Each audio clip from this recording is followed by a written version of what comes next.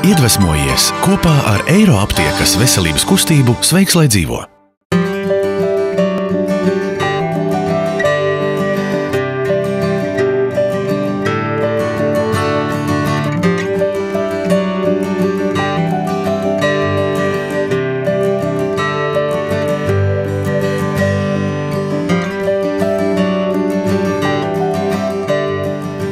Skrien, skrien, kaut ko dari. A, kam tu to dari? Mēs taču dzīvojam priekš sevis. Tas varbūt skan tā egoistiski, bet uh, ir sevi jāliek uh, pirmajā vietā. Sieviete atrod laiku visam, kam viņa grib.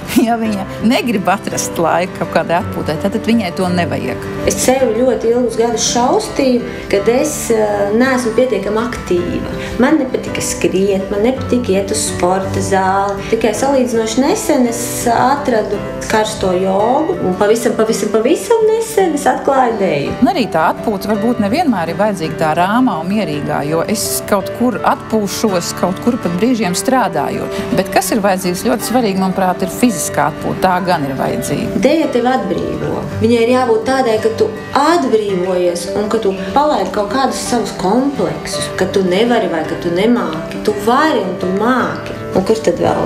Kaut kas foršāks vispār var būt. Man patīk ķimerēties ar burciņām un taisīt marinējumus visādi ziemai žēlājus, jo tas mani relaksē. Bet citreiz vajag kaut ko mierīgāku. Un tu, protams, vari aiziet skaisti uz restorānu ar labu kompāniju, bet tu jau tomēr zaudē pusi, jo tu sarunājies. Un tāpēc man patīk vienai pašai aiziet uz kaut kādu tādu ļoti labu restorānu, un kad tev iedod šo ēdienu, ka tev nav jāmazgā trauki, ka tev nav pirms tam jāsmaržo, kamēr viņš gatavojās. Tu vienkārši esi kaut kādu pusstundu, 40 minūtes tikai ar tām sajūtām. Uztais pati sev mazos svētkus mājās, pagatavo sev kaut ko īpašu, sapucējies. Tu taču sevi esi pati galvenā, un, jo tu vairāk eh, sevi šādā veidā mīlēsi un lutināsi, jo tev celsies pašapziņa un tu augsi gan savās, gan arī citu acīs. Ja es vienreiz mēnesī nenostaigāju pa dienu, pidžamā visu dienu, es neesmu fiziski atpūtusies.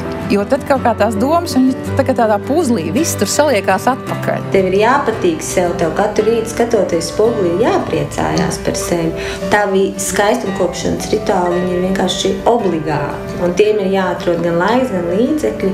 Un tad tu būsi skaisti, patiks sev un patiks arī citiem. Ja vienmēr, ja tu esi viens, tu esi vientuļš. Citreiz tu dzīvojot ar kādu kopā, es vēl vientuļāks. Man dzīvē tā ir bijis, un es to starpību sajutusi. Tāpēc varbūt es arī novērtēju to, kā tas ir. Un tā tie ir vispārējie stereotipi. Sievietes visbiežāk eh, satraucās, ka viņas vienas paliek. Mīļā meitenīte, tev ir dota iespēja beidzot pabūt ar sevi, atbildēt uz visiem taviem neskaidriem jautājumiem. Un tas ir tas brīdis, kad tu vari sākt svinēt šo dzīvi. Un dari to vienu. Nav uzreiz jāskrien apkārt um, pa klubiem vai ne, un, un jāgaida, ka kāds cits tev kaut ko teiks, jo, ja tev būs skumjas tās acis, tāpat tev neviens nenoticēs. Tāpēc notici sev vispirms pati, un tad arī pārējie tev ticēs. Ja mēs sev uzvilksim un visu laiku tikai saskatīsim negatīvo, tad arī tiešām superīgajos momentos neko labu nenoķersim. Bet ja mēs atšķirsim, kur ir vērts cepties, kur nav vērts cepties, tad šo laimes sajūtu var atrast Apmēram tā.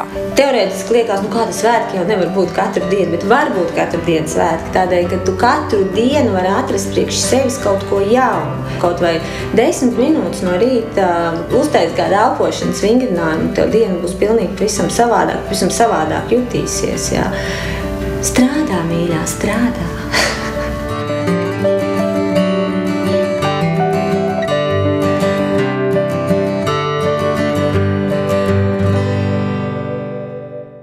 Iedvesmojies kopā ar Eiro aptiekas veselības kustību Sveiks, lai dzīvo!